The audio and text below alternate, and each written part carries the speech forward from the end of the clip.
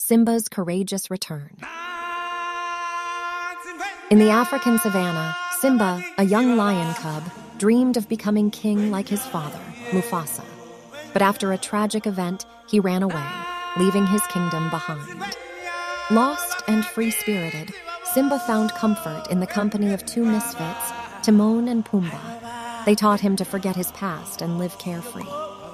One night, guided by Mufasa's spirit, Simba realized he must face his past and return to the Pride Lands.